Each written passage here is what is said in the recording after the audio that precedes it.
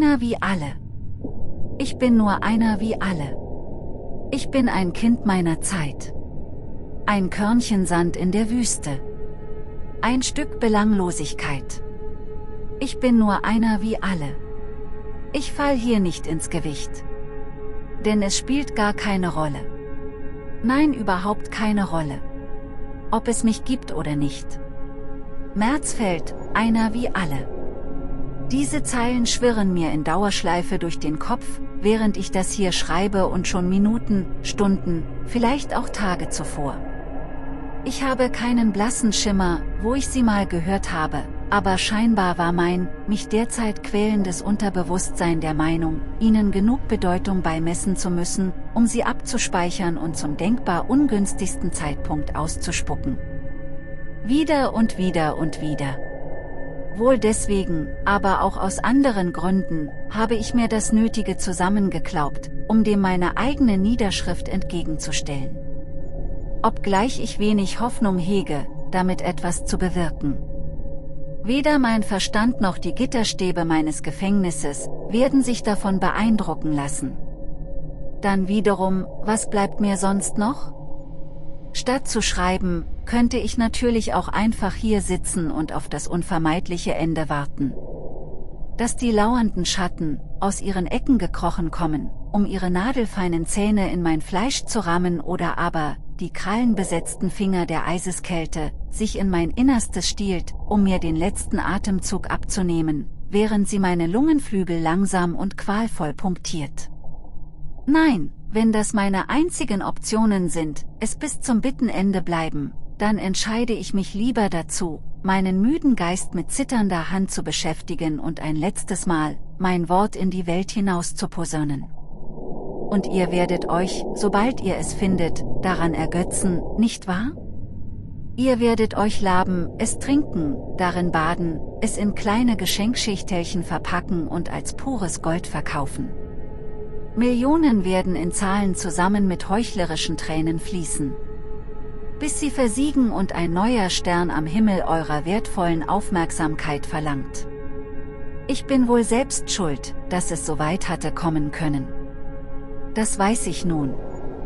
Nun, da der Tod mit knöchrigen Gelenken an meine Türe klopft. Ein wenig spät, womit ich kaum allein sein dürfte. Die strahlende Erkenntnis, alles in meinem Leben verbockt zu haben, macht mich sicher nicht einzigartig, eher gewöhnlich. Ich finde Trost darin, wenn auch nicht viel mehr. Denn es ist doch so, ich kann es euch, die ihr selbst meinen Leichnam noch zerfleddern werdet, nicht übel nehmen. Bis vor kurzem noch, hätte ich selbst nicht anders gehandelt, hätte, wäre das Thema jemals aufgekommen, sogar verlangt, dass es so geschehen möge, auf dass mein Name Unsterblichkeit erlange. Dabei hätte mir doch immer schon klar sein müssen, dass wir alle am Ende unserer Ziellinie, Unsterblichkeit hin oder her, doch nur eines sind, Futter für die Würmer. Ihr, die ihr meinen Namen kennt, ihn preist und als Kelch hoch über euren Köpfen haltet, werdet dies nicht hören wollen, vor allem nicht glauben können, dass derartige Worte von eurem Idol, eurem Helden, eurem Gott stammen. Ganz recht, ihr betet mich an, als wäre ich mehr als ihr, als wäre ich die Antwort auf alle Fragen und gleichzeitig die Fragen selbst, denn ich allein bestimme, was es wert ist, überhaupt erkundet zu werden. Die Wahrheit jedoch, tja, die Wahrheit ist simpler. Und bei weitem schmerzhafter. Gut möglich, dass ihr die sie, den lächerlichen Kern des Ganzen, nicht ertragt, dass ihr sie lieber still und heimlich beerdigt und euch stattdessen, meiner glorreichen Vergangenheit, zusammen mit meiner Vergänglichkeit rühmt. Die Lüge soll auf ewig als güldenes Götzenbild bestehen bleiben, damit ihr euch selbst maskieren, ein klein wenig besser fühlen könnt. So wie ich es einst getan habe. Die letzten Stunden, Tage, haben mir die Augen geöffnet, haben sich wie Dolche zwischen meine geschlossenen Lider geschoben und sind mit ihren Klingenspitzen ganz sacht meine Augäpfel hinaufgefahren. Es tat weh, zu sehen. Tut es immer noch. Höllisch. So sehr, dass ich mir nicht sicher bin, ob der seelisch, brennende Schmerz stärker in meinem Körper pulsiert als die tausend Nadeln, die jeder Windzug mit sich bringt, die sich in meine Haut bohren, mit kreisenden Bewegungen tiefer und tiefer hineindringen, klaffende Wunden hinterlassen und meinem Leib jede Wärme entziehen. Jedoch, ich sollte langsam zum Ursprung dieser Niederschrift gelangen, nicht wahr? Erklären, wie ich in diese missliche, wenn auch auf brutal endgültige Weise befreiende, Lage geraten bin. Immerhin bleibt mir nicht mehr viel Zeit. Ich höre sie schon wieder. Das Rascheln in den Ecken, das Trippeln ihrer Schritte, das Nagen ihrer Zähne, die sich bereit machen Blut zu kosten. Meine Bastion wird schon sehr bald fallen und ich unter ihr begraben werden. Zugeschüttet, werde ich nicht länger in der Lage sein, mich zu wehren, während ihre zuckenden kleinen Körper sich durch Löcher und Ritzen quetschen, um zu mir zu gelangen, mich in Stücke zu reißen. Winzige, appetitliche Stückchen, wodurch mein Tod sich ewig in die Länge ziehen wird, während niemand meine qualvollen Schreie vernimmt. Wahrlich, ich sollte mich beeilen. Ich bin ein Typ wie du. Ein Typ wie dein Nachbar mit der kläffenden kleinen Töle, die dir mal ans Bein gepinkelt hat, dein E-Freundin, der die dir schon seit Wochen in den Ohren hängt, dass ihr mal wieder was unternehmen müsstet, der Kassierer am Späti um die Ecke, der dich immer so komisch anstarrt, während er eigentlich nur high von Drogenträumen nachhängt, die sich niemals verwirklichen werden. Ich bin ein Typ wie all diese Menschen, und doch bin ich anders.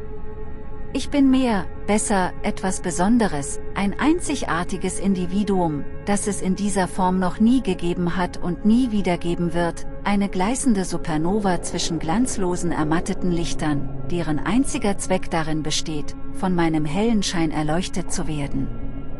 Zumindest dachte ich das lange Zeit und du, der Nachbar, der die Freundin, der Kassierer, denkst es vermutlich heute noch. Lass dir eins gleich vorweg gesagt sein.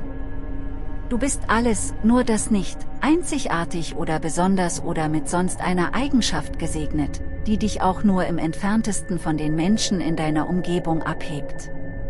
Du bist nur das, einer von vielen, ein Sandkorn in einer endlosen Wüste. Die Sorgen und Probleme, die du hast, hatten schon Tausende und Abertausende vor dir. Das Talent, das dich eines Tages berühmt machen wird? Eine Fähigkeit, die jederzeit, überall auf der Welt, dupliziert werden könnte. Das viele Geld, die Freunde oder sonst ein Statussymbol, mit dem du dich umgibst. Nur ein Zeichen deiner Angst klein und unbedeutend zu sein. Versteh mich bitte nicht falsch, das bedeutet nicht, dass dein Leben nichts wert wäre, es bedeutet nur, dass es genauso kleinlich und letztlich von geringer Strahlkraft ist, wie das aller Menschen. Auch wenn manche von uns, mich noch bis vor kurzem eingeschlossen, dies nicht wahrhaben wollten. Bevor ich also, in meiner Wahrnehmung, ein Typ wie du wurde, war ich eine große Nummer, ein Stern, das Licht und die Finsternis, ein Gott unter Menschen. Verehrt, bejubelt, gefürchtet, angebetet und über alle Maßen geliebt. Der feuchte Traum eines jeden Teenies, der sich vornimmt, eines Tages Rockstar zu werden, in mehr als einer Hinsicht, um die Welt zu fliegen und vor Tausenden von Menschen seine Philosophien in die hintersten Winkel des Universums zu kreischen. Falls es dir noch nicht aufgefallen sein sollte, ich übertreibe maßlos. Ich war, nein, bin berühmt, das will ich nicht leugnen, aber meine kaputte Selbsteinschätzung hat mir über die Jahre Flügel verliehen, die eindeutig zu schwer für meine schlussendlich doch nur menschlichen Gebeine sind dass ich überhaupt noch aufrecht gehen konnte, ohne unter der Last zusammenzubrechen oder in den Spiegel zu sehen vermochte, ohne dass dieser vor Scheinheiligkeit zerbarst, gleicht einem Wunder. Vielleicht liegt es daran, dass ich trotz aller Höhenflüge immer noch eine gewisse Bodenständigkeit pflege, wenn auch nur, um nach außen hin bescheiden wirken zu können.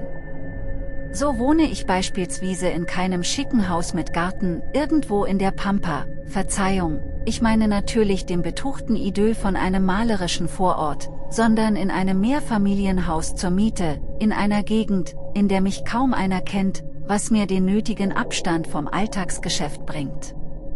Obgleich eben dieses Geschäft mein Leben ist und mein Leben der Alltag, weswegen sich der Umstand der gelegentlichen Ruhe durch Distanz, gleich wieder relativiert. Als Typ wie du, produziere auch ich Müll, oder um es ein bisschen weniger galant zu formulieren, meine Scheiße riecht weder nach einer Blumenwiese, noch besteht sie aus Gold, obgleich manch einer für den Mist den ich in ein paar runtergeratterten Sätzen verzapfe, bereit ist mehr zu zahlen, als du in einem Monat mit schweißtreibender Arbeit verdienst. Als Typ wie du, muss auch ich diesen Müll gelegentlich rausbringen, damit er abgeholt werden kann, denn zusätzlich zu meinen bescheidenen Wohnverhältnissen, bin ich tatsächlich auch selbstständig genug, meinen Haushalt allein zu organisieren, den Arsch wische ich mir nebenbei erwähnt, ebenfalls allein ab, nur falls es jemanden brennend interessiert, und ich bin mir sicher, dass dies der Fall ist. Was mich in meiner gegenwärtigen Gemütslage ehrlich gesagt, sehr, sehr traurig macht. Als Typ wie du, beginnt mit diesen beiden simplen Tatsachen, die ganze Misere, die mich in meine jetzige, unausweichliche Lage gebracht hat. Wer sich auch immer die naturgegebenen Gesetzmäßigkeiten unserer Sphäre erdacht hat, hat sich bei dem Gedanken, dass das Herausbringen des Hausmülls einen Gott zu töten vermochte, sicher köstlich amüsiert.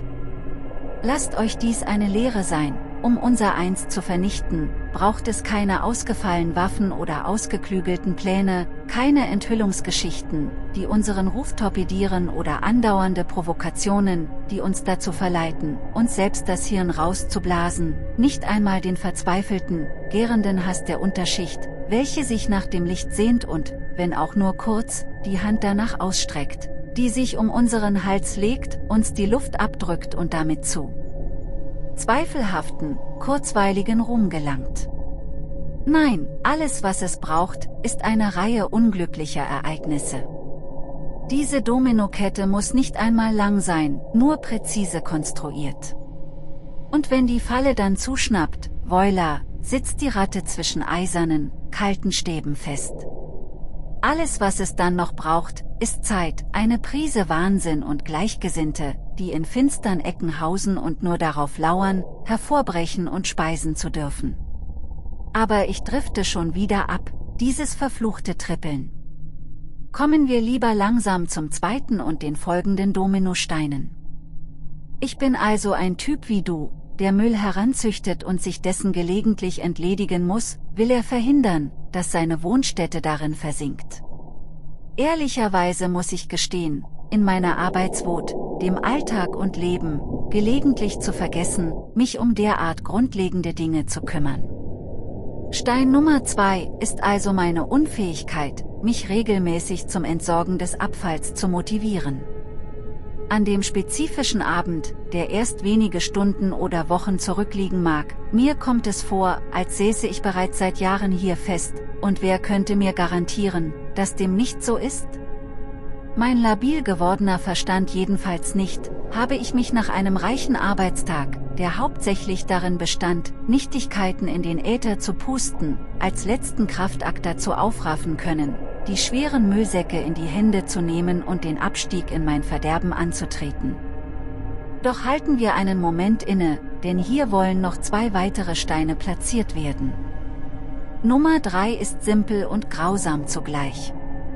Wie vermutlich jeder zweite Mensch auf unserem wunderschönen bunten Planeten, das ganze schwimmende Plastik, sorgt für so lustige Farbspiele, gehöre auch ich zu der Kategorie, die ihr Smartphone quasi überall hin mitschleppen. Das muss ich sogar, denn wie du weißt, besteht ein Großteil meines Lebens darin, dieses mit der Welt, sprich mit dir und all den anderen Fanatikern, zu teilen. Obgleich das alles natürlich durchweg unnatürlich ist. Hier eine Nachricht, die dich schockieren wird, das morgendliche Bild, wie ich noch völlig verschlafen von der Nacht, mit betontem Schlafzimmerblick in die Kameralinse? Kostet mich eine Stunde Vorbereitung und Schlaf, auf den ich verzichte, um stattdessen im Bad Gesicht und Körper in vollendeter Routine zu pflegen. Das dicht gefolgte, natürlich gesponserte, Frühstück. Der extra magere Joghurt, mit Früchten, die alle einzeln ein Qualitätssiegel rangetackert bekommen, garantiert aus fairem Anbau. Mit dem total hippen Namen, der mir schon nach dem Aussprechen wieder entfallen ist. Der neue heiße Scheiß halt, den jeder haben will, weil ich ein Bild davon gepostet habe, wie er morgens um 8 auf meinem Tisch steht? landet nach dem ersten Löffel, es wäre nur die halbe Miete, wenn man mich ihn nicht essen sehen könnte, im Müll und wird durch was Anständiges ersetzt. Ich könnte die Liste jetzt ewig so weiterführen, aber machen wir es kurz. Das Leben, von dem du glaubst, dass ich es führe, ist eine einzige, riesengroße Lüge. Götter sind eben auch nur Menschen, wer hätt's gedacht.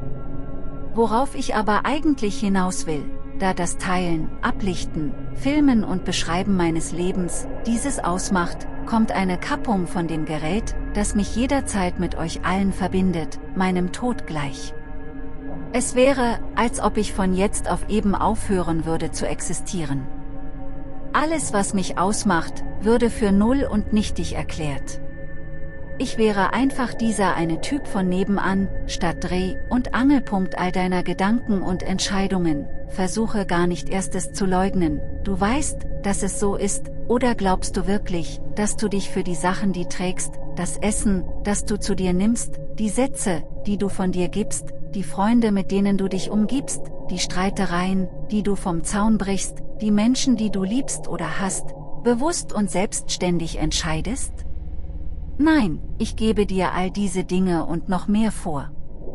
Vergiss nicht, ich bin Gott, du der Jünger, der vergebens dem Ebenbild aus dem er geschaffen wurde, nachzueifern ersucht. Du bist ich, nur in bedeutungsloser, sandkorngroßer Form. Schön dich kennenzulernen. Wie war noch gleich dein Name? Auch egal. Zurück zum Wesentlichen. Zurück zu mir. Es gibt Orte, und damit meine ich nicht das Stille, zu denen nehmen wir unser kleines technologisches Wunder einfach nicht mit. Ganz ehrlich, so sehr dich mein Alltag auch interessieren mag, du und ich, wir beide wollen dich nicht daran erinnern, dass auch ich die Weltmeere verschmutze. Immerhin tun Götter so etwas nicht. Deswegen gab es für mich nie einen Grund, das Gerät, das mich mit dir und all den anderen Betenden da draußen, wir wollen ja nicht vergessen, dass du kein Exklusivrecht auf die Bevormundung deines Kauf- und Sozialverhaltens hast, verbindet, einzustecken, wenn ich nur eben den Müll runterbringe. Es ist eine der wenigen Gelegenheiten, in denen ich vom Allmächtigen zum Niemand mutiere. Zu diesem einen Typen, der... Hm, was? Was für ein Typ? Der halt. Es fühlt sich jedes Mal befremdlich und falsch an, als würde ich im Adamskostüm hinaustreten, mich dem Gespött der Massen aussetzen, dabei vollumfänglich ignoriert werden und trotzdem vor Scham und Ekel aufgrund meiner niederen Existenz, zu der ich für diesen Augenblick degradiert werde, versinken. Vermutlich ein weiterer, tief in meinem Unterbewusstsein verwurzelter Grund, der mich diese Verpflichtung immer wieder so lange wie möglich vor sich herschieben lässt. Hey, das Ganze hier hat ja einen tiefer greifenden, therapeutischen Zweck, als ich erwartet hätte. Schade, dass er ein wenig zu spät kommt, die Dominosteine sind bereits gefallen. Lange Rede, kurzer Sinn, dies ist jedenfalls Stein Nummer 3, das Smartphone bleibt oben in der Wohnung. Stein 4 kürze ich ein wenig ab. Zuallererst, fürs Protokoll, wir haben gerade Winter, als ich schwer bepackt meine Wohnung verlassen habe, war es. Okay, ich habe keine Ahnung, wie spät es war, irgendetwas um 10 Uhr nachts rum und es herrschten Minusgrade, wenn auch kein Schnee auf den Straßen liegt. Präziser, es ist scheiße kalt was ich zu diesem Zeitpunkt noch nicht weiß oder nur am Rande mitbekommen habe. Es gab für diesen Tag eine Sturmwarnung, aufgrund von Orkanböen, die über 100 Kilometer die Stunde erreichen sollten. Jap, mein Unterbewusstsein hat diese Information gespeichert, danke Unterbewusstsein, für die frühe Warnung. Ladies und Gentlemen, Stein Nummer 4. Cool wie ich bin, pan intendet, ging ich natürlich nur im leichten Shirt und einer Jogginghose bekleidet, hab Nachsicht, ich verliere schon bald mehr als nur die Kontrolle über mein Leben, sowie in billigen Latschen, unter denen sich zusätzlich dünne Socken verbargen, hinaus. Auch wenn ich in dieser Sekunde keinerlei Göttlichkeit mehr ausstrahlte, steckte diese doch immer noch in mir, Götter frieren bekanntermaßen nicht. Die Wahrheit ist, Ich bin eine elendige Frostbeule und habe mir vom ersten Schritt an den Hintern abgefroren. Nicht, dass ich mir das jemals eingestanden hätte. Ist auch so eine Komplexsache. Wenn das Göttliche unfehlbar ist, kann es auch keine Schwächen haben. Ich brachte jedenfalls schnellstmöglich die Entfernung zwischen Haustür und Müllhäschen hinter mich.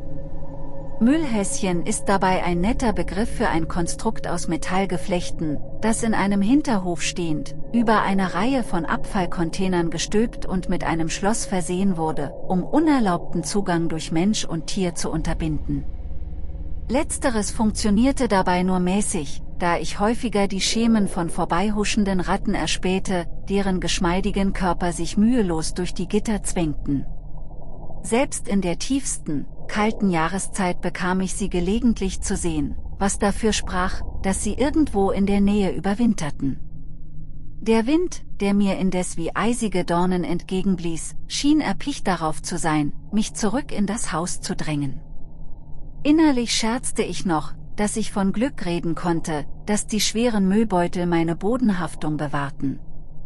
Sorge bereitete der Sturm mir keine, auch wenn die vereinzelten Bäume über mir bedrohlich wankten, da ich ja davon ausging binnen weniger Minuten wieder im Warmen zu sein, vor allem aber hinter dicken Mauern, die den Orkan, der durch die Häuserschlucht noch in seiner Gewalt gestärkt wurde, in seine Schranken weisen würden.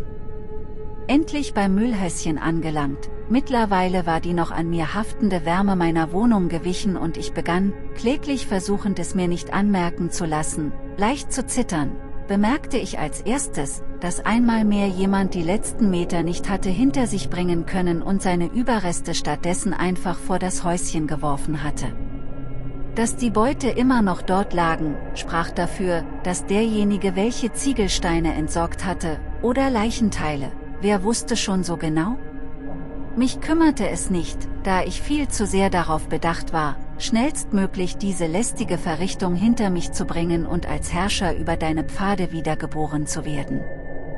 Ich kramte meinen Schlüssel hervor, rammte ihn treffsicher vorbei, wodurch unangenehm Metall auf Metall schabte, unternahm einen zweiten Versuch und traf das Schloss dieses Mal, wenn auch nur knapp. Beim Drehen hakte es kurz, wie fast immer, der Mechanismus gehörte längst ausgetauscht, doch lag es nicht im Zuständigkeitsbereich eines höheren Wesens wie mir, dies an die entsprechende Stelle zu melden, was sich mit einem ungeduldigen Ruck löste. Für den Bruchteil einer Sekunde beunruhigte mich das knackende Geräusch, das ich über den heulenden Wind zu hören meinte, gleichzeitig blies dieser mir jedoch so eisig in den Rücken, dass ich jedwede Gedanken daran beiseite, und meinen fast schon steif gefrorenen Körper lieber durch die nunmehr offenstehende Gittertür schob. Den Schlüssel ließ ich in meiner Eile stecken. Was sollte schon passieren? Es trennten mich nur noch wenige Schritte und vor allem Sekunden von der Befreiung von meinen Hinterlassenschaften, die du vermutlich gerne durchwühlen würdest, du kleiner Storker, den Schlüssel für diesen winzigen Zeitraum unbeobachtet zu lassen, erschien mir in keiner Weise riskant. Wie sich herausstellen sollte, war es das auch. Selbst mit dem Werkzeug des Öffnens in meinem Besitz, wäre ich in diesem Augenblick, in dem ich über die Schwelle des Müllhäschens trat, bereits verdammt gewesen. Ich hastete, so gut ich dies, schwer beladen wie ich war, eben vermochte, zu den Containern herüber, setzte einen der schweren Säcke ab, um eine Hand frei zu haben, schob den Deckel nach hinten und hiefte die erste Ladung Müll hinein. Auf Nimmerwiedersehen. Grüßt die Fische von mir. Gleich darauf folgte die zweite Ansammlung von Ballast, wobei die Trennung mir genauso wenig schwer fiel. Schnaufend aufgrund der Anstrengung, zog ich den Deckel wieder runter, gestattete mir kurz mir die Arme zu reiben, es brachte rein gar nichts, die Kälte schien omnipräsent zu sein, wobei ich ein Stechen in den bleichen Händen spürte.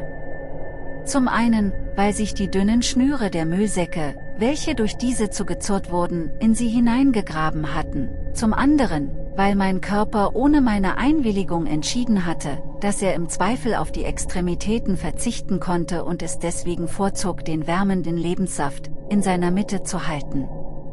Freilich hatte ich nicht vor, es erst so weit kommen zu lassen. Bestrebt diese unwürdige Episode möglichst schnell zu einem Abschluss zu bringen, lief ich eiligen Schrittes auf den Ausgang des Häuschens zu. Kurz bevor ich ihn erreichte, entschied das Schicksal seinen Lauf zu nehmen und dem Fortgang meines Daseins einen Knüppel zwischen die Beine zu werfen. Ein starke Böe kam auf, stärker als alle vorangegangen. Sie verfing sich in dem Müllsack, der noch draußen stand, wir erinnern uns, die Ziegelsteine oder Leichenteile, und zu meinem Entsetzen stellte ich fest, dass der Inhalt wohl doch nicht so schwerer Natur war, denn das Behältnis wurde plötzlich mit solcher Wucht hochgerissen und durch die Luft geschleudert, dass es die halboffen stehende Gittertür mit einem lauten Knall zerrammte, ehe es wieder schlaff und erneut achtlos weggeworfen zu Boden sank. Die Geräuschkulisse allein ließ mir schon für einen Moment das Herz stocken. Die Beruhigung und Versicherung an meinen Verstand, dass nichts weiter passiert war, blieb infolgedessen nicht von Dauer und ließ mich den nächsten Infarkt erleiden, als ich erkannte, dass meine Schlüssel durch die Wucht aus dem Schloss gerutscht sind. Funkelnd lagen sie wenige Zentimeter von der Tür entfernt, was für sich genommen noch kein Problem darstellte. Der Wind, der unablässig an ihnen rüttelte hingegen, machte die Sache ein wenig verzwickter. Bevor wir zu meiner panischen Reaktion übergehen, in der ich verzweifelt nach etwas suche, um an die rettenden Werkzeuge meiner Befreiung zu gelangen. Der Abstand zwischen Gitter und Boden war zu schmal, als dass meine Arme hindurchgepasst hätten. Betrachten wir noch einmal kurz die Domino-Reihe. Stein Nummer 5 ist der Müllsack, dem ich außerhalb des Häuschens daran vorbeilaufend, keine weitere Beachtung geschenkt habe. Warum auch? Es war nicht das erste Mal, dass jemand sich zu fein war, seinen Dreck restlos zu entsorgen und es würde nicht das letzte Mal sein. Oft bin ich an derartigem vorbeigelaufen, ohne es auch nur zu registrieren und ausgerechnet heute, sollte dieser Umstand zu meinem Verderben beitragen? Ein klassischer Fall von Ironie des Schicksals. Stein Nummer 6 habe ich beinahe vergessen zu erwähnen. Die Tür des Müllhäschens ließ sich von innen nicht ohne weiteres öffnen, da sie keinen bedienbaren Henkel, sondern nur einen gebogenen, fest verankerten Knauf zum Greifen besaß. Nur falls du dich über meinen Ausbruch von blankem Terror gewundert haben solltest. Zwischenfazit. Wer einen Gott töten will, benötigt einen schlechten Sinn für Humor. Doch was wäre ich für eine Gottheit, wenn ich nicht ein Ass im Ärmel hätte? Offenbar meinte es die höhere Sphäre gut mit mir, denn gerade rechtzeitig bemerkte mein alarmschlagender Verstand, einen ausrangierten Regenschirm, der auf einem Stapel Altholz lag, welches unsachgemäß in dem Häuschen abgelegt worden war, zusammen mit einem zerbrochenen Garderobenständer, einem ramponierten Ledersessel, einer zerschlagenen Mikrowelle, einer Ach lasen wir das. Ich hechtete also zu dem Schirm herüber, der, wie es der Zufall so wollte, einen geschwungenen Griff besaß, welcher sich perfekt dazu eignete, nach verloren gegangenen Schlüsseln zu angeln. Mein erster Versuch das Instrument meiner Erlösung zu greifen, endete damit, dass mir das Vermal-Ediite-Ding aus den tauben und gleichzeitig brennenden Fingern glitt. Der zweite glückte, wenn auch mehr schlecht als recht. Bewaffnet mit dem Schirm, marschierte ich wie ein stolzer Ritter, der auszog die entführte Maid aus den Fängen des geifernden Drachen zu befreien, auf das Ungetüm aus Stahlgeflecht zu. Okay, zugegeben, die Realität sah weit weniger heroisch aus. Vielmehr wankte ein zitterndes, blasses Nervenbündel auf die Tür zu, kniete sich davor und stellte sich wie der letzte Mensch auf Erden, bei dem Versuch an, mit einem Stück fein verarbeitetem Holz seine garstigen kleinen Schlüsselring zu erhaschen. Es vergingen drei Jahre sowie 23.317 Versuche, bevor ich sie schweißgebadet und mit lahmen Arm endlich zu fassen bekam. Es dauerte vielleicht 30 Sekunden und fünf sehr behutsame Anläufe, der Rest stimmt trotzdem. Ich meine noch immer mein wildschlagendes Herz zu spüren, das bei jedem noch so kleinen Anzeichen des Abrutschens, aus meiner Brust zu bersten versuchte, gleichsam klingt mir, unterschwellig des Ohrwurms, das Kreischen von Metall auf Steinplatten in den Ohren wieder, inklusive der bildhaften Vorstellung, wie Materien sich gegenseitig verformen und verbiegen, bis sie kurz vor dem finalen Bruch stehen, dem meine Hoffnung wie springendes Porzellan dicht folgen würde. Die typischen Kapriolen, die ein paranoid-panischer Geist ebenso schlägt. Der Schlüssel blieb natürlich unverändert, ebenso wie die Steinplatten, über die er geschabt worden war. Von dem Schirm konnte ich dies wiederum nicht behaupten, der hatte ein paar nicht zu verachtende Schrammen davongetragen. Ich dankte ihm für seine treuen Dienste und warf ihn dann zurück auf den Müll. Meine Freude über das Zurückerlangen von gepresstem und geschliffenen Metall, sollte nicht von Dauer sein. Ich verschwendete keine Zeit, sondern rammte das Werkzeug unvermittelt in seinen Bestimmungsort hinein. Ein breites, siegreiches Grinsen legte sich um meine Lippen, als ich die nötige Drehbewegung vollführte und erstarb. Es hakte. Das dreimal verfluchte Schloss hakte. Ich wandte vorsichtig ein wenig mehr Kraft auf, mein Verstand drehte bereits wieder Kreise der absurdesten Szenarien, vergebens. Noch mehr, nichts. Noch ein klein wenig mehr, keinerlei Regung. Okay, Cool bleiben, dachte ich bei mir, nur, dass ich das jetzt nicht mehr lustig fand, denn langsam machte sich die Kälte wieder bemerkbar, zwischenzeitlich hatte mein Adrenalinpegel sie mich zumindest ignorieren lassen. Statt mich weiter dagegen zu stemmen, ließ ich ein wenig lockerer, drehte den Schlüssel in die andere Richtung, versuchte es erneut. Zwecklos. Da tat sich rein gar nichts. Rückblickend weiß ich nicht mehr, wie viele Male ich das Ding hin und her gedreht habe. Mal mit mehr, mal mit weniger Kraft, in unterschiedlichen Rhythmen, mit gutem Zureden, gleichzeitigem gegen die Tür pressen oder an ihr ziehen, als ob es einen geheimen Code oder so gäbe, um sie davon zu überzeugen, sich mir zu öffnen.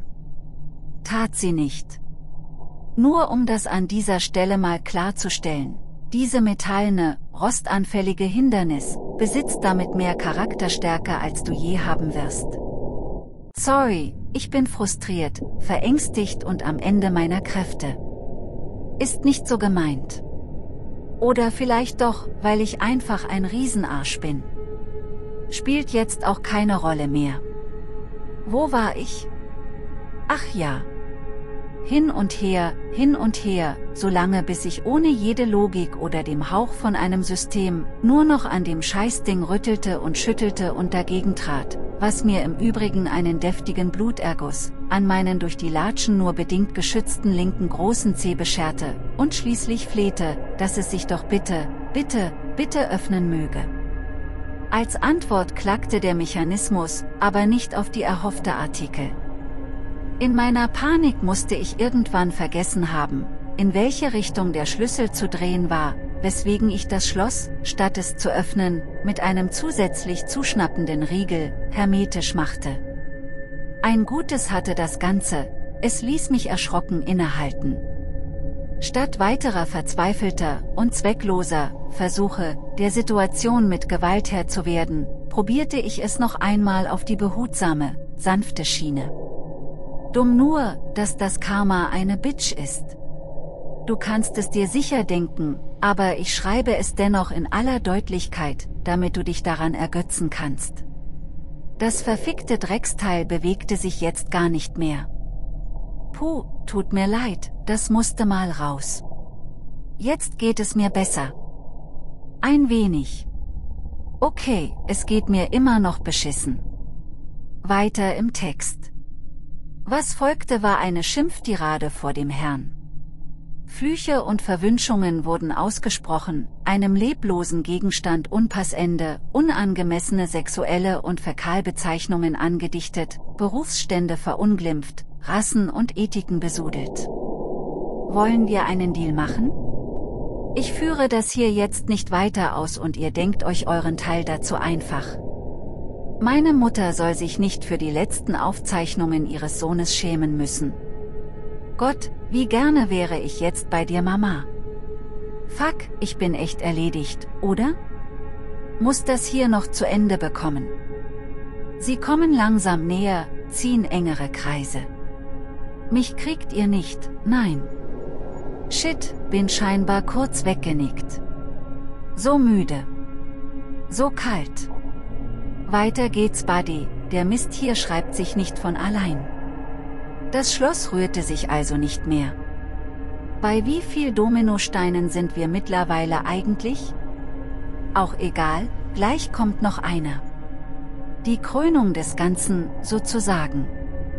Wobei, nein, die kam erst später.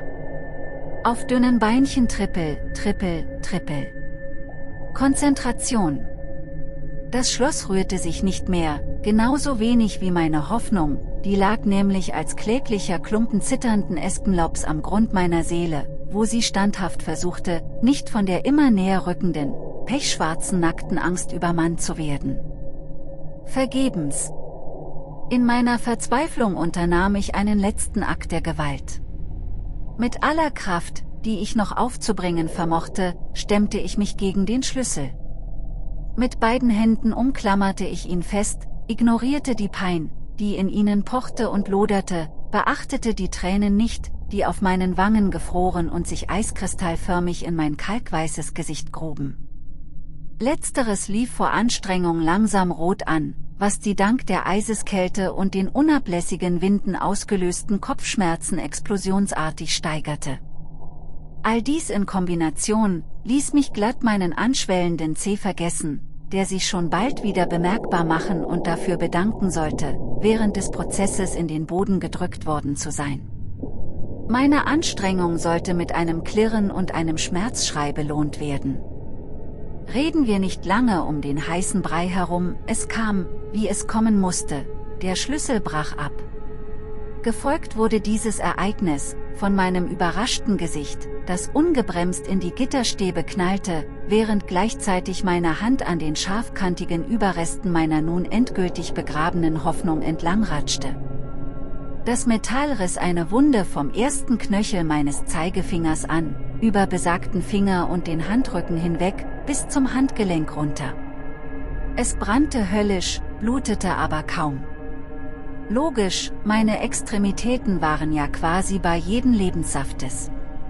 Als Folge dieser finalen Niederlage, tat ich, was ein jeder gestandene Mann an meiner Stadt getan hätte. Ich sank zu Boden und begann hemmungslos zu weinen, wie ein kleiner Junge, der hingeplumpst war und sich das Knie aufgeschrammt hatte. So hockte ich da, mit dem Rücken an den eisigen Gitterstäben gepresst, die den Wind, der mir in selbigen blies, schonungslos hindurchließen. Mit einer Arschbacke saß ich auf den verbleibenden Stücken meines Schlüsselbundes, da mein Hintern ungefähr so taub war wie alles andere an mir, merkte ich es kaum. Außerdem war ich viel zu sehr damit beschäftigt, meine zäh auslaufende Hand zu umklammern.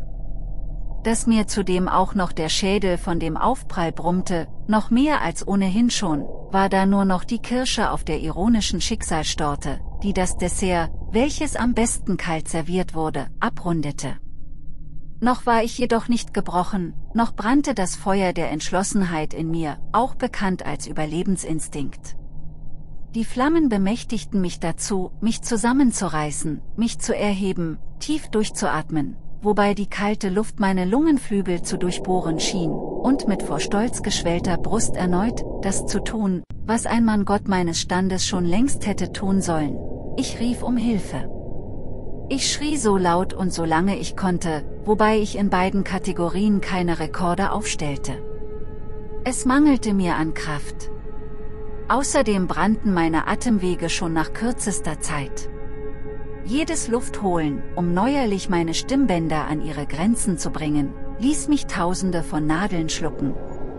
Als ich nicht mehr konnte, verharrte ich einen Augenblick, irgendwann im Laufe meiner Bemühungen, bin ich aufgestanden, um auf und ab zu gehen und dabei in alle Himmelsrichtungen zu brüllen, und lauschte, lauschte auf irgendeine noch so kleine Regung in meiner Umgebung, doch alles was meine bald abgefrorenen Ohren vernahmen, war das Rauschen des unablässig blasenden Windes, welcher an den Fäden meines Lebens zupfte, den Pullover, sprich meinen Körper, langsam und beständig aufdröselte, bis nichts mehr von ihm blieb, als eine dünne Schnur, die davongetragen wurde. Ich wartete noch ein wenig länger, wusste längst nicht mehr worauf. Das Geräusch einer sich öffnenden Tür? Eines Fensters, aus dem jemand herausschaut, um zu erfahren, wer da mitten in der Nacht so einen Lärm machte? Oder gleich das Sondereinsatzkommando, das sich dieses unangenehmen Problems annahm. Vielleicht auch ein Donnergrollen des Himmels, das mich nichtige Gestalt, die ich in diesem Moment kein Teil der göttlichen Sphären mehr war, endgültig zum Schweigen brachte? Nichts dergleichen geschah. Meine Existenz war so bedeutungslos geworden, dass niemand, wirklich absolut niemand sich für sie interessierte. Ich war es nicht einmal wert, mit Missachtung aufgrund der Ruhestörung bedacht zu werden. Vergessen. So fühlte ich mich in dieser Sekunde. Als ob alles, was ich bis dahin erreicht hatte, ohne jeden Sinn und bei jeden Bestands wäre. Ein winziger Tintenklecks in gigantischen Geschichtsbüchern, der langsam verblasste, der nichts hinterließ. Die Leere, die sich rasend schnell in mir ausbreitete, wurde nur durch die Kälte überholt, welche drauf und dran war, sich bis zu meinen Knochen durchzufressen. Noch ein wenig länger, ich wäre an Ort und Stelle erstarrt. Für die Ewigkeit in Eis geformt. Ein netter Gedanke, wenn meine Skulptur nicht gerade neben dem Hausmüll der Gesellschaft gestanden hätte und dort vermutlich auch verweilt wäre. So lange zumindest, bis der Sommer sie auftaute. Denn wenn der Gestank der Verwesung sich aufgrund der unbarmherzigen Sonneneinstrahlung erst einmal mit dem der übervollen, umliegenden Tonnen mischte, wäre die Bereitschaft sich dieses makabren Kunstwerks endlich zu entledigen, sicher um ein Vielfaches größer. Hilfe stand also nicht in Aussicht, doch zum bedeutungslosen Sterben fühlte ich mich entgegen aller Erschöpfung und dem Gefühl null und nichtig zu sein, noch nicht bereit. Noch war es nicht zu spät, noch war es nicht aussichtslos, noch konnte ich mich zurück in die Aufmerksamkeit dieser Welt katapultieren, ins Rampenlicht zurückkehren, als hell leuchtender Stern wiedergeboren werden. Alles was ich dafür tun musste, war dies, lange genug überleben, und mich bei erster Gelegenheit dieser grässlichen, zerlumpten Jogginghose entledigen, bevor mich noch jemand darin sah oder schlimmer noch, ein Bild davon aufnahm, es teilte und meinen Ruf damit, selbst im Überlebensfall, für alle Zeiten brandmarkte. Nun wirst du sagen, und wenn schon. Er soll sich glücklich schätzen, überlebt zu haben. Erfrieren ist so ein grässlicher Tod, im Vergleich dazu ist die soziale Vergänglichkeit und die daraus resultierende Folge, des Abtauchens in den Untergrund, in die metaphorische Gosse, den Morast der Gefallenen, der nunmehr glanzlosen, ausgebrannten Sterne, eine Kleinigkeit, etwas, das man verkraften kann, eine Asche, aus der der Phönix sich erheben sollte, um wenn schon nicht mehr in die höchsten Ränge, dann doch wenigstens in die Mittelschicht aufzusteigen, wieder präsent zu werden. Mit angekratzter Visage, sicher, aber immerhin. Immerhin, er lebt noch. Eine Einstellung, die allein du, zusammen mit deinen Durchschnittskameraden zu propagieren und ernsthaft daran zu glauben fähig bist. Ich gestehe ein, jetzt, kurz vor meinem Dahinscheiden, stimme ich dir in allen Punkten zu. Weiterleben zu dürfen wäre ein Geschenk, welches ich selbst dann noch dankend in Empfang nehmen würde, wenn sich darin eine bereits verwesende Ratte mit dem Hinweis befinden würde, dass ich die nächsten drei Wochen nichts anderes zwischen die Zähne bekommen werde, und ich kann dir versichern, diese garstigen kleinen Biester schmecken selbst frisch, absolut grässlich. Trippel, trippel, trippel. Ganz recht, ihr seid widerwärtig. Zu dem gegenwärtigen Zeitpunkt, den ich soeben beschreibe jedoch, wäre ich im Traum nicht darauf gekommen, ein derartiges Präsent auch nur eines Blickes zu würdigen. Es wäre der Sekunde, die ich dafür hätte aufbringen müssen, nicht gerecht geworden und hätte sich aufgrund dessen selbst aus dem Raumzeitgefüge tilgen müssen, um die alles beherrschende Ordnung wiederherzustellen, da die Alternative Anarchie, Chaos und Tod bedeutete. Anders gesagt, ich hätte von dir erwartet, dass du dich für den Frevel, in meinem Glanz zu stehen, vor den nächstbesten Zug wirfst. Aber lassen wir das. Damit mein Ruf ruiniert werden konnte, musste ich erst einmal ungeniert überleben okay, der war nix. Weiter im Text. Mein schockgefrostetes Hirn zermarterte sich, um eine baldige Lösung für unser beider Problem zu finden. Eine aufgrund äußerer Umstände scheinbar unmögliche Aufgabe, da jeder Windzug Nägel durch es hindurchjagte, sie tiefer bohrte, sie sich qualvoll drehen und wenden ließ. Mittlerweile konnte ich nicht mehr mit Gewissheit sagen, welcher Bereich meines Körpers noch schmerzte, taub oder gar bereits abgestorben war. Mein Verstand arbeitete zäh, wie ein Stundenglas, dessen Hals immer dünner wurde, wodurch Sekunde für Sekunde weniger Sandkörner hindurchrannen, ein Körnchen Sand in der Wüste. War das Glas erst einmal verstopft, hieß es Game Over. Ein Stück Belanglosigkeit. Trippel, trippel. Da. Meine Augen erfassten beim darüber hinweggleiten etwas, das ihre Aufmerksamkeit erregte, doch mein Bewusstsein arbeitete zu langsam, als dass ihre Erkenntnis es erreichte. Gerade sahen sie es noch, da war das rettende Objekt auch schon wieder weg. Aus den Augen, aus dem Sinn. Panisch huschten sie zurück, während sich in meinem Kopf, das womöglich letzte, Bild manifestierte, ich, als sabbernder Idiot, auf der Such nach dieser einen Sache, die direkt vor mir stand, doch war ich unfähig sie zu erkennen. Seltsamerweise spürte ich in diesem Moment rein gar nichts, nicht nur physisch, sondern auch seelisch, als wäre der Klumpen Eis in meinem Brustkorb, der zuvor noch gelegentlich geschlagen hatte, nun endgültig erstarrt. So sehr, dass nicht einmal mehr der Instinkt des Überlebens und die daraus resultierende Angst ihn anregte. Erst als ich registrierte, dass meine Äpfel in ihren Höhlen bereits wieder, und seit längerem, das Objekt meiner Begierde fixierten, machte es einen kleinen Satz, vor Schreck. Das kann nicht euer Ernst sein, erklärte ich diesen unbrauchbaren Glubschern, worauf sie mit unbeeindruckten Stieren reagierten. Sie vermittelten mir deutlich, dass ihrem Besitzer für andere Ideen die Zeit fehlte. Ein Container. Einer von vielen. Einer wie alle. Und doch nicht irgendeiner. Es gab eine ganze Reihe von ihnen, drei Stück an der Zahl, doch nur der einer dieser Art, stach durch seine Eigenschaft besonders hervor, gefaltete Kartons quollen daraus, wie ein Alien-Baby aus dem Rippenkasten seines Wirtes, während Papiere unterschiedlicher Größe, glatt, geknüllt und zerrissen, darum wie Eingeweide einer geschändeten Leiche verteilt lagen. Für letztere hegte ich nur wenig Interesse, da mein Denkmotor langsam wieder in die Gänge kam und sich auszumalen versuchte, auf wie viel brauchbare Pappe ich wohl aus den anderen beiden Containern kam, sowie Berechnungen über die Maße dieser Räumlichkeiten anstellte. Es hätte wohl keine Rolle gespielt, wäre mein restlicher Apparat nicht ebenfalls in Bewegung geraten, um auszuführen, was die Schaltzentrale ihm befahl. Stockend und ächzend setzte ich ein Bein vor das andere. Sie fühlten sich nicht länger wie bewegliche Glieder, sondern wie stocksteife Stelzen an. Ein Blick in den ersten und dann in die anderen beiden Entsorgungsstätten für Papiere und ähnliches, ließ mich jauchzen, ja, das konnte funktionieren.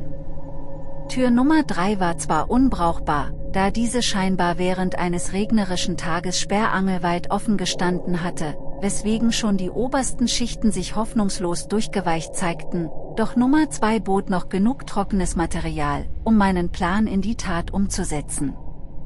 Von neuem Eifer gepackt, räumte ich die obersten Lagen Kartonage aus den Containern, wobei ich diese, sofern sie noch zu Paketen gefaltet, geknickt und geklebt waren, bereits so sauber wie möglich auseinandernahm, wobei ich strikt darauf achtete besonders große Stücke im Ganzen zu erhalten dass meine steif gefrorenen Finger und Hände dabei diverse Kratzer und Schürfwunden davontrugen, bemerkte ich kaum. Auch nicht, dass die Schlüsselwunde wieder aufklaffte und dabei mein Dämmmaterial besudelte. Ja, richtig gelesen.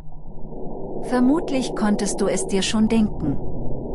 Mein glorreicher Plan sah vor, in einem Container, welcher mit Pappe, welche dank mehrerer Lagen, samt Zwischenräumen, dazu in der Lage war, Wärme zu speichern, ausgekleidet wurde, auf Hilfe wartend zu verharren. Nicht gerade die innovativste Idee, aber immerhin. Immerhin, er wird überleben, dachte er. Und ja, ich war mir der Tatsache durchaus bewusst, was diese Geschichte meinem Ruf anzutun fähig war. Ich sah schon die Schlagzeilen, Berühmtheit überlebt in Mülltonne oder 10 praktische Tipps, wie Sie Ihren Survival-Container wohnlicher gestalten können, präsentiert Ihnen, aber soll ich dir was sagen? Es war mir egal. Ich wollte nur noch raus aus dieser gottverfluchten Kälte. Außerdem arbeitete mein Hirn bereits auf Hochtouren, wie sich aus dieser Story noch Kapital schlagen ließ. Sicher es würde immer Neider geben, die versuchen wollten, meinen Namen durch den Müll zu ziehen, aber schlussendlich war es doch so, dramatische Geschichten und Kriegsverletzungen verkauften sich immer gut. Sieh es doch mal so, du liest diesen Mist hier immer noch, und warum? Weil du dich danach lächst zu erfahren, was aus deinem Idol geworden ist. Was hätten die Medien sich überschlagen, um ein Exklusivinterview mit mir zu erhalten, inklusive all der ausgeschmückten Details, die so nie passiert sind? Wen juckt's? Solange nur das Geld in Strömen fließt.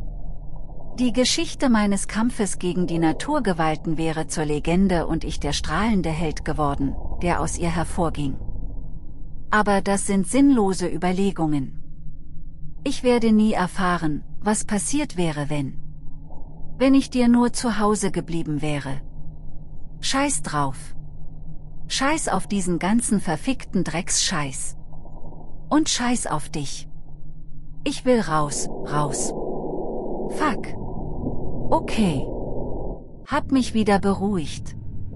Ignoriere die feuchte Stelle weiter oben und glaub ja nicht, dass ich ach was soll's. Ja ich hab geflennt, na und? Ich krepiere hier sowieso also scheiß drauf. Und atmen. Geht wieder. Mann, ich muss mich zusammenreißen, wenn ich das hier noch beenden will. Es fing so gut an. Der Anfang. Das Ende. Mein Ende. Es wäre fast lustig, wenn es nicht so traurig und ohrenbetäubend wäre. Dieser verdammte Wurm und dann erst dieses ständige Getrippel. Und das Fiepen. Wie mir dieses Gefieper auf den Geist geht. Ich habe jedenfalls zwei von drei Containern ausgeräumt und damit eine beachtliche Menge brauchbarer Dämmstoffe zusammengetragen und vorbereitet. Die Anstrengung hat mich indes nicht nur meine aktuelle Lage kurzzeitig vergessen lassen, sondern auch meine eisigen Glieder wieder etwas belebt, wenn auch nicht viel. Die nächste Böe, die kräftig an den wenigen Kleidern zerrte, welche mich ummantelten, erinnerte mich daran, mich besser zu beeilen. Als nächsten Schritt warf ich einige der vorbereiteten Kartonagen zurück in den Container, mehrere Lagen davon sollten als Boden dienen. Die folgenden Stücke fungierten als Auskleidung der Wände, wobei ich die vorderen direkt anlegte und weitere hinterher warf, nur um selbst in die Tonne zu steigen, was sich als schwieriger herausstellte, als ich zuerst angenommen hatte.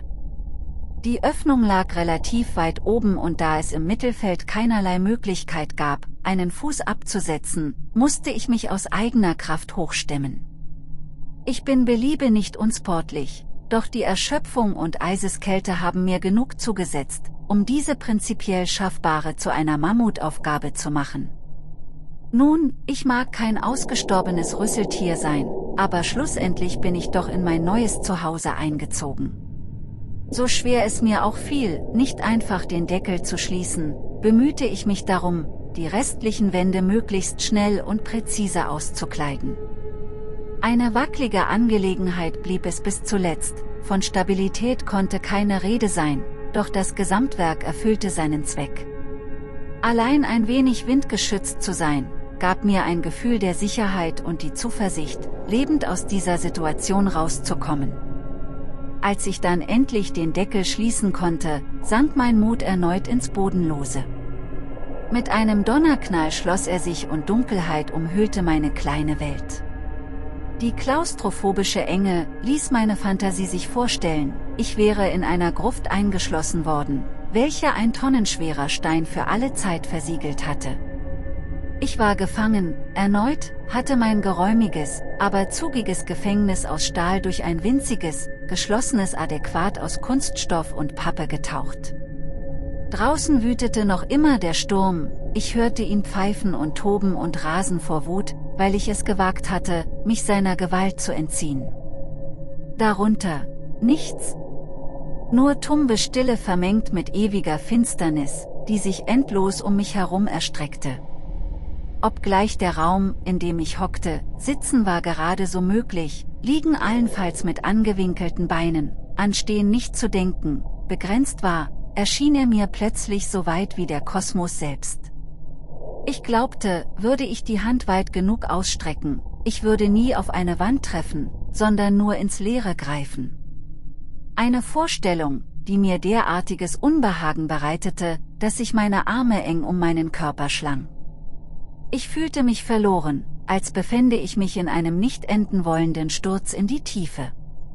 Einen Vorteil hatte das Ganze jedoch, mir war nicht länger kalt, oder zumindest deutlich weniger.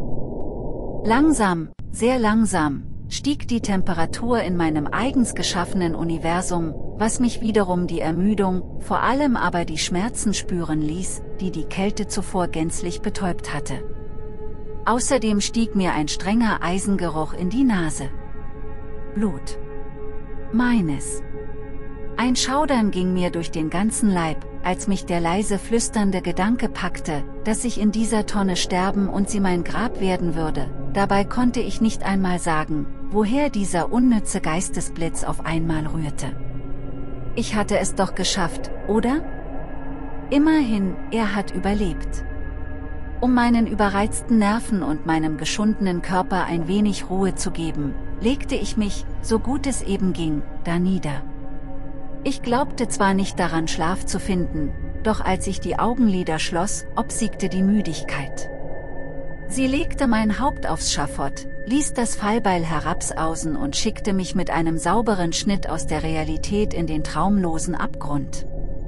Ein Geräusch riss mich aus meiner seligen Umnachtung, die mich noch Sekunden nach meinem Erwachen glauben ließ, dass alles nur ein Nachtmar gewesen wäre, ein Schreckgespinst, nichts weiter als eine Ausgeburt meines Unterbewusstseins, das unsinnige Windungen zu verarbeiten versuchte. Der Wind, der immer noch um mich herum blies, das Aufkreischen meines Rückens, als ich mich bewegte und die Beine, die ich nicht ausstrecken konnte, weil sie direkt auf ein festes Hindernis stießen, überzeugten mich davon, noch immer ein Gefangener zu sein. Eingeschlossen in Müll, Plastik, Gittern und dem Stoff aus dem Albträume gemacht sind. Damit einher drängte sich mir die Erkenntnis auf, dass das Geräusch, welches ich noch immer vernahm, mein Ausweg aus dieser eisigen Hölle sein konnte. So schnell es mir nur gelang, also sehr langsam, weil meine Glieder hoffnungslos versteift waren und ich mich wie ein hundert Jahre alter Mann fühlte und agierte, richtete ich mich auf, tastete in der absoluten Finsternis nach dem Deckel über mir und stieß ihn auf. Nun, ich versuchte es zumindest. Er rührte sich dabei nur keinen Millimeter. Augenblicklich brach mir der kalte Schweiß aus. Mittlerweile war die Temperatur in meinem kleinen Häuschen dramatisch gestiegen. Vielleicht nicht saunamäßig, doch genug, dass sie zusammen mit dem geringer gewordenen Sauerstoffgehalt, es gab ja keine Luftlöcher, eine Schwüle erzeugte, die mir, als ich die Tür in die Freiheit nicht zu öffnen vermochte, sprichwörtlich den Atem raubte. Ich glaubte ersticken zu müssen. Meine Lungen arbeiteten auf Hochtouren, ackerten wie eine Diesellok in rasendem Tempo, wobei sie ihren Rhythmus verloren, ich zu hyperventilieren begann, während gleichzeitig mein Herz von innen gegen meinen Bürstkorb, wie ein betrogener Ehemann hämmerte, der drauf und dran war, das Haus samt Besitzer auseinanderzunehmen, wenn ihm nicht sofort Einlass gewährt wurde. Die oder den Besitzer würde er natürlich trotzdem fachgerecht zerlegen. Ich drückte so fest ich nur konnte, nach oben, schlug aus, schrie, ohne es zu merken, wobei die Laute meiner eigenen Kehle mir auf den engen Raum in den Ohren klingelten. Die leise Stimme flüsterte mir wieder zu, dass ich hier drinnen verrecken würde. Mit etwas Pech würde die Müllabfuhr später nicht einmal meinen Leichnam entdecken, sondern diesen einfach ungeachtet der sterblichen Überreste eines Umweltsünders, der sich für seinen Verbleib nicht die Biotonne hatte aussuchen können, zusammen mit dem restlichen Gut entsorgen und oder recyceln. Ich hatte das irrwitzige Bild meines Gesichts vor Augen, welches in die Pappschachtel einer Frühstücksflockenverpackung gepresst wurde. Der Traum einer jeden Berühmtheit und Garant dafür, dass die Kinder einer, dann sehr unglücklichen Familie ihr Leben lang eine Therapie benötigen würden. Mein Schicksal sollte jedoch weit grausamer sein als dies. Meine Bemühungen wurden schließlich mit einem lauten Ratsch belohnt, als der Deckel sich unter dem Druck schlagartig öffnete. Scheinbar hatte die Luftfeuchtigkeit im Inneren die Ränder bedeckt, wodurch diese von außen zugefroren sind. Die Freude über mein erfolgreiches Entkommen war nur von kurzer Dauer, denn die eisige Luft, die mir sofort wieder in den Lungen stach, zwang mir sogleich die Erinnerung auf, dass ich noch lange nicht frei war. Hinzu kam, dass der Wind augenblicklich jede Wärme mit sich nahm, was mich erneut in ein zitterndes, erbarmungswürdiges Bündel verwandelte. Gleichzeitig keimte aber auch Hoffnung in mir auf, denn ich besann mich des Geräusches, welches mich überhaupt erst aus meinem Schlummer geweckt hatte. Meine Augen zuckten zu der fest verschlossenen Tür herüber, erwarteten bereits die Rettung in Form einer gütigen Person, die in der Umgebung wohnte und wie ich es nicht hatte länger vor sich herschieben können, seinen Müll rauszubringen. Jedoch, sie wurden bitter enttäuscht. Da war niemand. Das rhythmische Rasseln eines Müllsacks, welches nicht von dem Sturm herrührte, der an ihm zerrte, sondern von einer Person, die ihn herumtrug, entpuppte sich als Ja, was eigentlich? Ich hörte es noch immer, vermochte allerdings nicht die Quelle dessen auszumachen. Auch wenn ich mir der Torheit dessen bewusst war, konnte ich nicht anders, als meiner nun entfachten Neugier Folge zu leisten. Ich musste wissen, welche äußeren Umstände da einen Streich mit mir spielten, um es ihnen gegebenenfalls heimzuzahlen. Denn niemand spielte ungeschoren mit dem Gemüt einer grimmigen Gottheit. Also sammelte ich allen gerechten Zorn, den ich aufbringen konnte in meiner Magengegend, ließ ihn brodeln und kochen, bis er die nötige Hitze erreichte, mir als Motivator zu dienen, als Antrieb, für die bestialische Maschine, der sich besser niemand in den Weg stellte, dem sein oder das Leben seiner Nächsten lieb und teuer war. Blind vor Hass, wegen allem, wegen diesem Dreck bescheidenen Situation, in die mich die Pfade der Mäuren manövriert hatten, sprang ich aus meinem sicheren Versteck, wobei ich leicht umknickte. Der blitzartige Schmerz, der meinen Knöchel hoch durch das gesamte Bein fuhr, warf nur noch mehr schwarze Kohlen in das Feuer, welches diese begierig verschlang. Leicht humpelnd stolzierte ich zu der Tür, da meine Sinne diese bereits als Ursprung der störenden Geräusche ausgemacht hatten. Und tatsächlich, nunmehr bestätigen mir auch meine Augen, was mein Bewusstsein schon längst erkannt hatte. Es handelt es sich um die Vermaledeite Mülltüte, die jemand achtlos außerhalb des Müllhäschens, also kilometerweit entfernt, platziert hatte.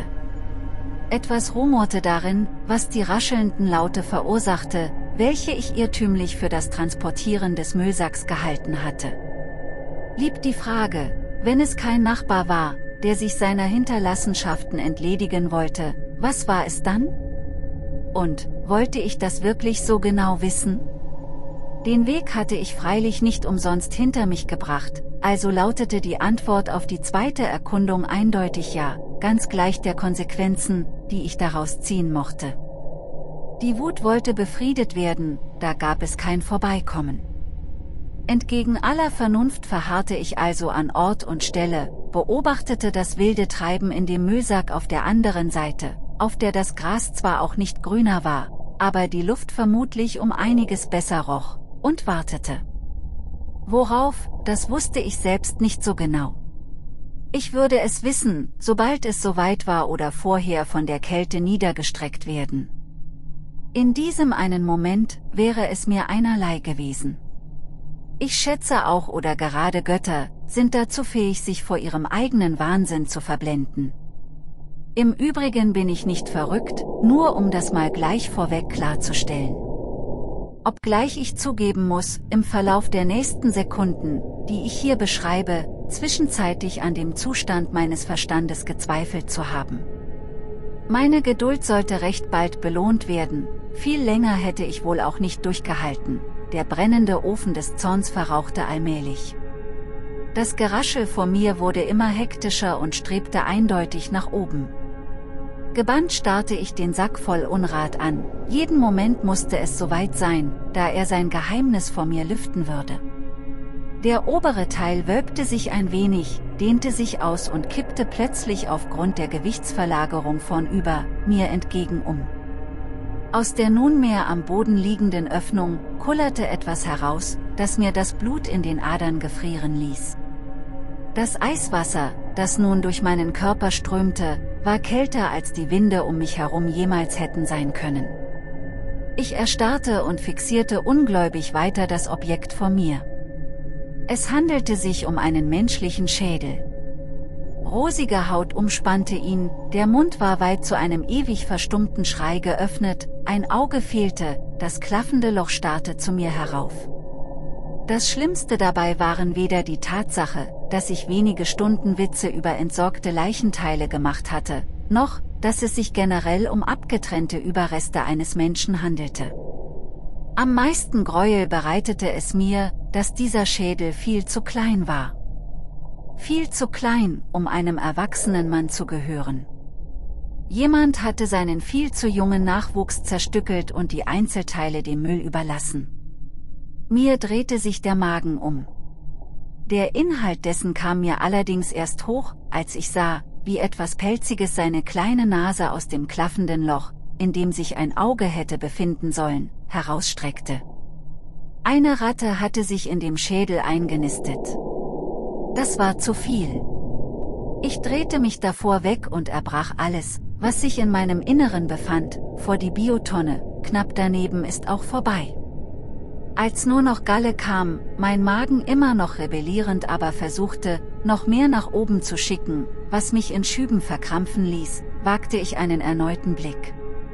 Auch wenn sich alles in mir dagegen strebte, ich musste es einfach wissen, musste mit Sicherheit erfahren, ob jemand in meiner direkten Umgebung zu einer solch ekelerregenden Tat fähig gewesen war.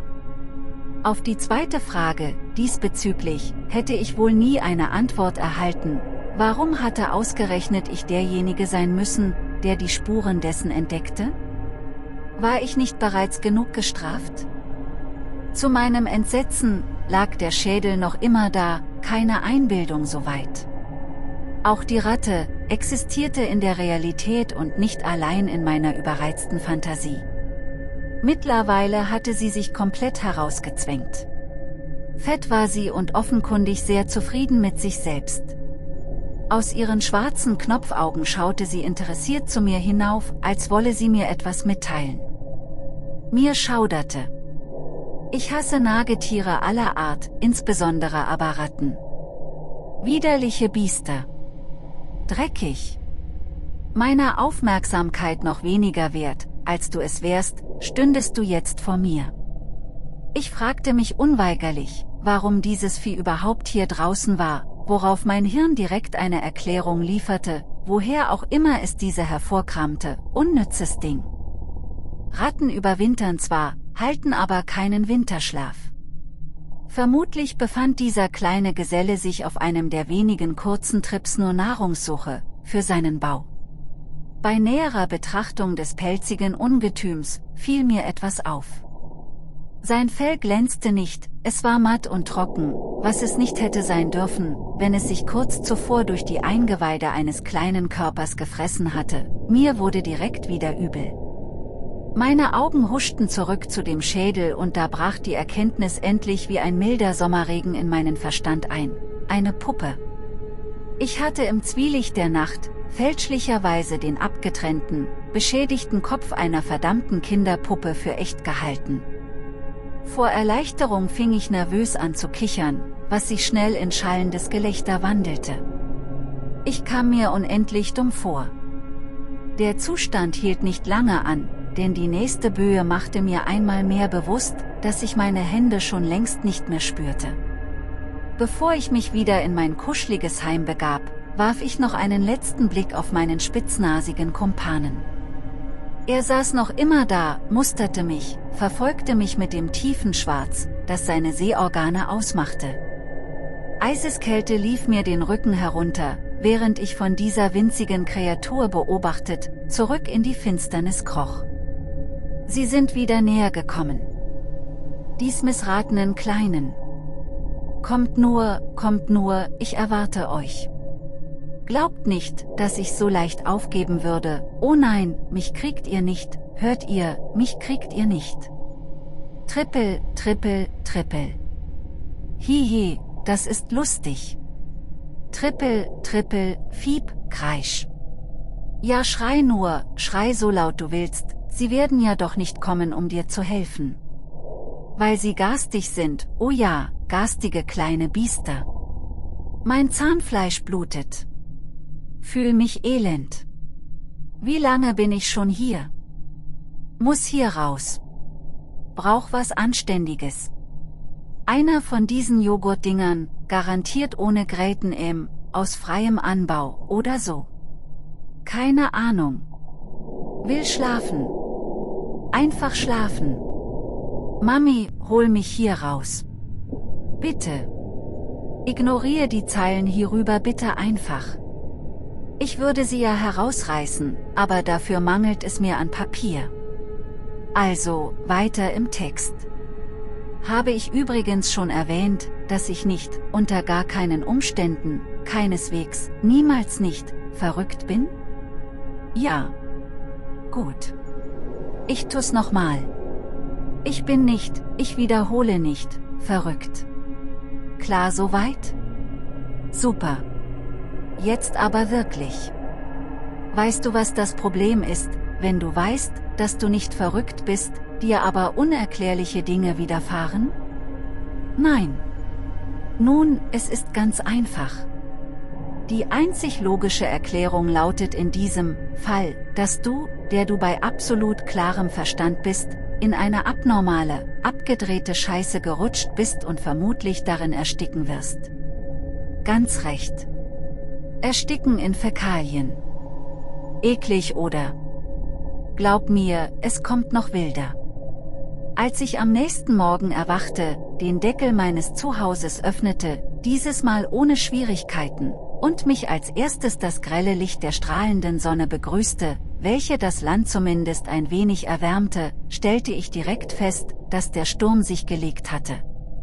Es war immer noch kalt, keine Frage, aber erträglicher deutlich erträglicher. Und dass der Tag bereits angebrochen war, stimmte mich mutig, schon bald aus diesem rattenversuchten Höllenloch zu entkommen. Immerhin, er hatte überlebt, würde im Laufe des Tages schon jemand an dem Häuschen vorbeikommen, wenn schon nicht um seinen Müll rauszubringen, dann doch, um zur Arbeit zu gehen oder anderen Aktivitäten nachzugehen, die ein Verlassen der Wohnung bedingten. Da meine Zeit und der Platz auf meinen Papieren langsam knapp wird, kürzen wir das hier ein wenig ab, ja? Ich hab gewartet. Lange. Stunden. Mich immer wieder in meine Tonne zurückgezogen, diese aber nur halb zugemacht, den Blick in alle Richtungen offen gehalten. Und was war? Nichts. Rein gar nichts. Niemand. Keine Menschenseele.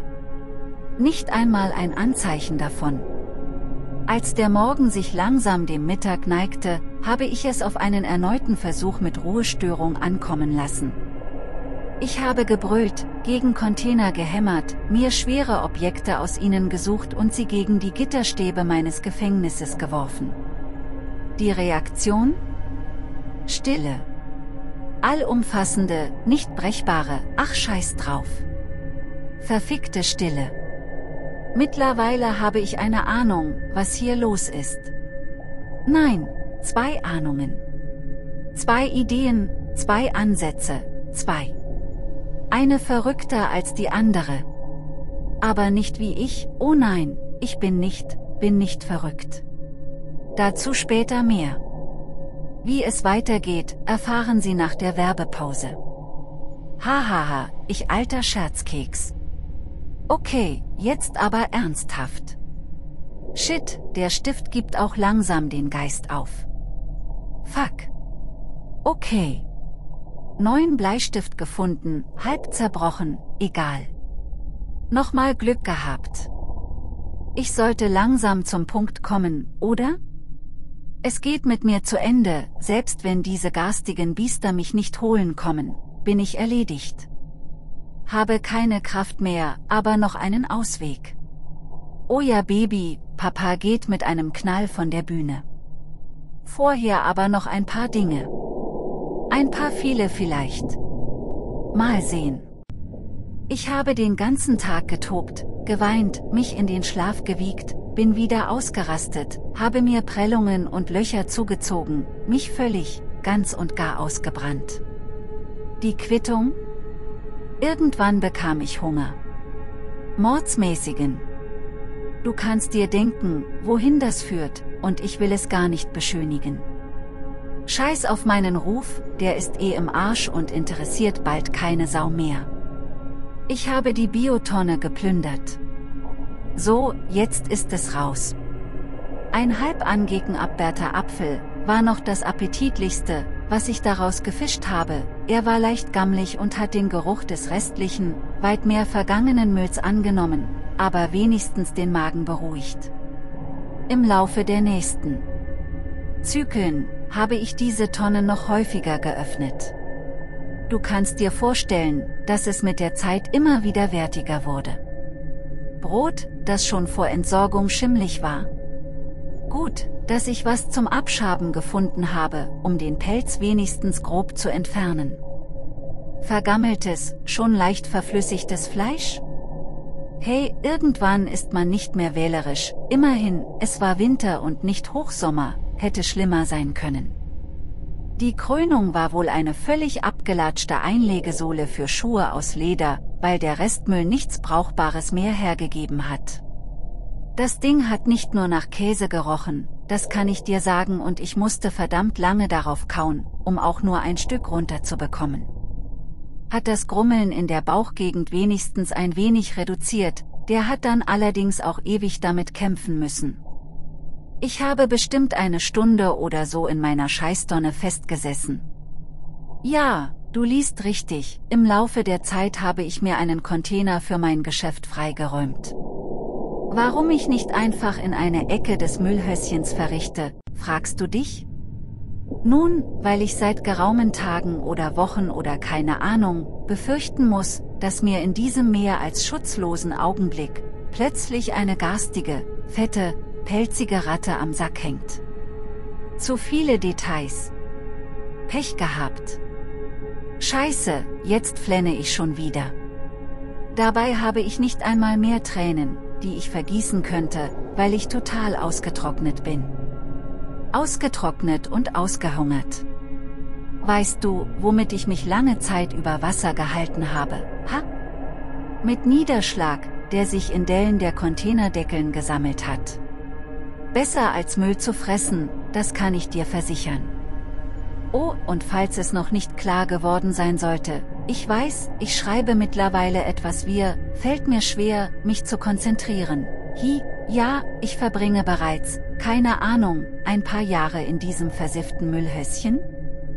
Die Sonne ist verdammt häufig über mir auf und niedergegangen, das einzige was sich nicht geändert hat, ist die Jahreszeit. Es ist immer noch nukleare, Ups, ein frühzeitiger Hinweis auf eine meiner drei, oder waren es zwei? Vermutungen, hihi, Winter. Bevor wir aber zu dem Grund für mein hier eingesperrt sein kommen, göttliche Intervention? Nummer 4. Nein, es sind die Dominosteine, garantiert sind es diese schwarz-weißen, kleinen Steinchen, in Reih und Glied, ja ja, noch etwas anderes. Ich will dir von meinen Mitbewohnern erzählen. Bruderratte und Schwesterratte und Mamaratte und Paparatte. Und ach du weißt schon. Es sind Ratten, okay. Kleine, braune, pelzige Dinger mit süßen kleinen Näschen, pechschwarzen Äuglein. Neugierig, verspielt, mörderisch, niedlich, hassenswert, intelligent, scheiße intelligent und eine reichhaltige Streitpunkt. Nahrungsquelle. Ich empfehle sie mit Ketchup. Alles schmeckt besser mit Ketchup. Hab leider keinen hier. Auch keinen Senf. Ranzige Remoulade, aber die ist alle. Sie sind überall. Nein, ernsthaft, sie sind überall. Ein ganzer Teppich von ihnen, bewegt sich wie ein wogendes Meer, als riesiges Kollektiv, genau vor meiner Haustür, also der gitternen, nicht der kunststoffenen. Du weißt schon. Ich schreibe nur noch Bullshit, oder? Egal. Lies einfach weiter. Tue es. Mir zuliebe. Erst war es nur eine, eine wie alle. Du erinnerst dich? Die aus dem Babyschädel. Bin mir mittlerweile nicht mehr sicher, ob es wirklich nur eine Puppe war. Sie ist dort geblieben. Hat mich unentwegt beobachtet. Ist mir erst gar nicht aufgefallen, als es dann aber so weit war.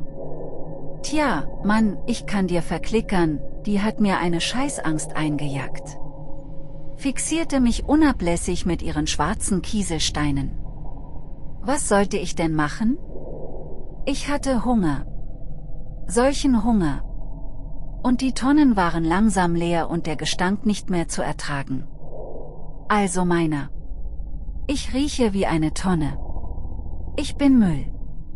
Weniger als Müll. Ich bin der Müllgott. Jedenfalls habe ich das Biest angelockt. Keine Ahnung mehr, womit. Vielleicht mit einem Sack? Ha! Hab ihr eins übergebraten. Sie hat noch gezuckt, als ich meine Zähne in ihr Fleisch geschlagen habe. Widerwärtig. Dreckig. Aber sättigend. Mit einem Minzblatt vielleicht. War ein Fehler hat die ganze Sippschaft auf den Plan gerufen. Ab und zu schnappe ich mir noch eine von ihnen. Was bleibt mir auch anderes?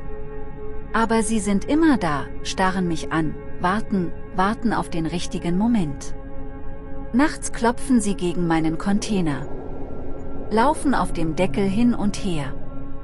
Trippel, trippel, trippel. Und schmieden Pläne mit ihren grellen Stimmchen. Fiep, Fiep, Fiep. Sie wollen mich herauslocken, aber das können Sie vergessen. Nicht nachts, nachts sind sie mächtig, nachts sind sie göttlich und ich nur der dumme Idiot, die personifizierte Nichtigkeit, die Müll produziert und diesen rausbringen muss. Tagsüber aber, oh ja, tagsüber da können sie mir nichts. Das Licht gehört mir. Mir allein. Ich stehe darin, glänze darin, erstrahle darin. Ich werde sie mit meinem Licht vernichten, wartet nur ab. Ihr seid neidisch. Allesamt Neider, die mich fallen sehen wollen. Den Stern. Ihr wollt ihn vom Himmel herunterreißen, ihn seines Firmaments berauben. Oder ihr seid tot und wenn ihr tot seid, dann weil die Ratten euch gefressen haben. Oder weil ihr verbrannt seid, in atomarem Feuer. Vielleicht sind es doch die Dominosteine, nein, das ist Unsinn. Es sei denn. Ja, der Plan, der Plan einen Gott zu stürzen, mich zu stürzen. Ihr habt das hier gelesen, oder? Ich habe euch die Vorlage gegeben und ihr habt es umgesetzt. Habt mich in eine Falle gelockt, in meine Falle. Aber ich sage euch was. Die Ratten. Ja, ja, die Ratten, sie sind mein Geschenk an euch, schön verpackt, mit einem Schleifchen drum. Sie haben euch gefressen, euch allesamt. Vertilgt haben sie euch, Hautfetzen für Hautfetzen, Fleischstück für Fleischstück und Knochensplitter für Knochensplitter. Und jetzt bin ich allein, alleiniger Herrscher, alleiniger Mensch auf Erden und verspeise die Ratten, die zuvor euch vernichtet haben. Betreibe ich damit indirekten Kannibalismus? Oh, das gefällt mir. Ich fresse die Menschheit und scheiße sie in eine Tonne, weil ich Gott bin. Alles was ich je wollte, war zu schreiben. Ich wusste schon immer, dass ich ein Talent dafür habe, keine Gabe, keine Allmacht vielleicht, aber Talent. Die Autorenader hat stets in mir pulsiert. Bevor sie jedoch zutage gefördert werden konnte, habe ich alles bekommen, was man sich wünschen kann. Was du dir wünschst. Was jeder sich wünscht. Es ist ein sinnloses Wünschen. Es macht nicht glücklich. Es zwingt nur auf. Berühmtheit ist zum Kotzen. Mir ist zum Kotzen. Mir ist übel vor Hunger. Es ist traurig. Das einzige Werk, das ich je zu Papier gebracht habe, wird mein Abschiedsbrief sein. Es hat so gut angefangen, nicht meisterhaft, aber gut, oder? Bitte sag mir, dass es gut war. Vergiss das Ende, verbrenn es, lösch es aus, behalte mich als fähigen Autor in Erinnerung. Als jemandem mit Potenzial. Das wäre schön. Es wäre etwas von Wert. Es ist traurig. Ich bin nur einer wie alle. Kein Stern, kein strahlendes Licht. Nur einer wie alle. Ein Niemand mit Träumen und Wahnvorstellungen. Es ist wahrhaft traurig, dass der Mensch zu Lebzeiten dazu verdammt ist, nicht zu erkennen, dass all sein Streben zu höherem, nicht nur zum Scheitern verurteilt, sondern auch völlig sinnlos ist. Hätte ich mich doch nur mit dem begnügt, was ich hatte, Talent, statt nach dem zu greifen, nach dem jeder eifert, Ruhm, Anerkennung, Macht. Geld. Es ist traurig. Und übrigens, ich bin nicht verrückt. Nicht allein zumindest. Wir alle sind es. Ich werde jetzt gehen. Für immer. Auf Wiedersehen, schöne, tote, nager verseuchte Welt. Ich bin vielleicht nicht in atomaren Feuer untergegangen, genauso wenig wie die Ratten, aber wir werden trotzdem brennen. In der Hölle. Mein neues Zuhause. Ein Knall. Yeah Baby. Pappe ist guter Zunder. Schön trocken. Habe irgendwie Brandverstärker und ein funktionierendes Feuerzeug aufgetrieben. Werde die Tür nachts offen lassen. Sie einladen. Kommt nur, kommt nur. Trippel, trippel. Fiep, fiep. Ihr werdet kreischen, für mich, für euren Gott. Götter können nicht brennen. Götter sterben niemals wirklich. Es ist nicht tot, was ewig liegt. Vergesst nicht einen Kommentar zu hinterlassen. Und brav liken. Folgt mir, wenn ihr es nicht schon längst tut. Bis zum nächsten Mal. Euer Müllgott. you